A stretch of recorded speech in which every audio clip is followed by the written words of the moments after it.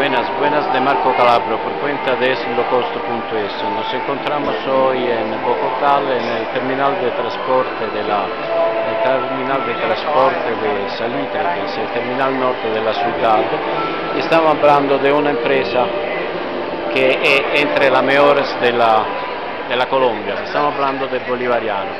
Esa empresa desde ya muchos años es organizada, por ejemplo, con el servicio de a los clientes en, en Internet. La empresa también eh, es una empresa que, tiene mucha atención a lo que son lo, los comentarios de sus, de sus clientes y ahora me estoy moviendo para ir a, ver la, la, sala de espera de la, de la Bolivariano aquí en, eh, en, el terminal del norte de, de, Bogotá. Eh, esta cierto è una, una sala de espera che dà la, la, la, che dà la idea di come il, il terminal